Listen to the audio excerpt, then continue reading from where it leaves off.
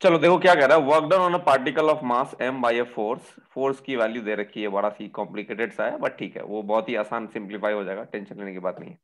के कांस्टेंट है appropriate dimensions का। पार्टिकल कहाँ से कहाँ ले गया ए ज़ीरो से zero a along a circular path of radius a मतलब पार्टिकल को मूव कर रहे हैं कहाँ पे? सर्कल पे मूव कर रहे हैं। अब देखना ध्यान से। ठीक है? बड़ा ही लल्लू सवाल बन जाएगा ये। ऐसा हुआ? एक मिनट एक मिनट। अब सर्कुलर पाथ है ना ये? सर्कुलर पाथ में ये जिसका सेंटर कहाँ पे?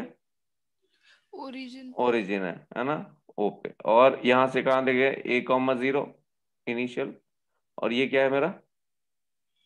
ज़ीरो कॉमा ए तो ऐसे ऐसे लेके जा रहे हैं इसको ठीक है? कोई परेशानी? हाँ चलो अब एक चीज़ तुम देखोगे इस सर्कल के हर एक पॉइंट का जो दूरी है मान लो एक कोई पॉइंट है यहाँ पे जिसके कोऑर्डिनेट्स हैं एक्स कॉमा वाई ठीक है? इस पॉइंट की दूरी ओरिजिन से क्या हो जाएगी? ए ए हो जाएगी क्या? ए हाँ। यानी कि x square plus y square कितना हो जाएगा बताओ? ए स्क्वायर ए स्क्वायर हो जाएगा क्या? ये तो डिस्टेंस फॉर्मूला में नहीं पढ़े हो।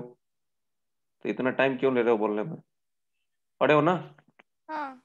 एक्स हाँ। एक्स माइनस ज़ीरो का whole square plus y minus zero का whole square is equal to a हाँ, स्क्वायर हाँ, पढ़े हो हाँ। ना यानी कि ये जो फोर अब इस सर्कल के हर एक पॉइंट पे x square plus y square कितना हो गया? ए स्क्वायर तो ये जो फोर्स में ये वाला जो नीचे वाला जो टर्म दिख रहा है तुमको दिख रहा है क्या?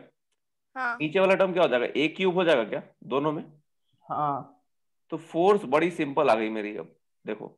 जो इतना कॉम्प्लिकेटेड सा दिख रहा था वो क्या हो गया? बहुत ही आसान सा हो गया। के बाई ए क्यूब बाहर ले लूँ? हाँ। तो क्या बन गया ये? X i cap plus y j cap आया क्या समझ में? हाँ, सर। अच्छा अब हमको निकालना है वर्क डन तो वर्क डन चूँकि वही इंटीग्रेट करना पड़ेगा छोटा सा वर्क डन निकाल के। मानते हो? हाँ। हाँ सर। छोटा सा वर्क डन बोलो। D W is equal to f dot d r d r यहाँ लिख रहा हूँ मैं d r vector d r vector क्या होगा बताओ? D x i cap plus d y j cap ऐसे लिखते हैं? बोलो। हाँ सर। डी आर वेक्टर को ऐसे लिखेंगे ना हम?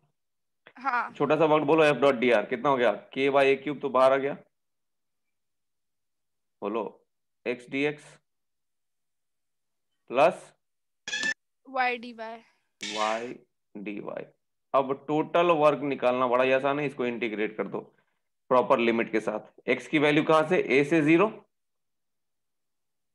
हाँ। ये बोलो ना। वाई हाँ, के हाँ, ज़ीरो सर। वाई के ज़ीरो से ए A. तो कट जाएगा वो ज़ीरो आ जाएगा आंसर एक्स की वैल्यू ए से ज़ीरो और ये कॉमन है। और वाई की वैल्यू क्या कहाँ से कहाँ तक? ज़ीरो से a zero to a so this becomes ये कट जाएगा। दोनों कट जाएँगे। आंसर विल बी ज़ीरो समझ गए? हाँ। अरे हाँ। समझे कि नहीं समझे? समझे समझे। समझे सर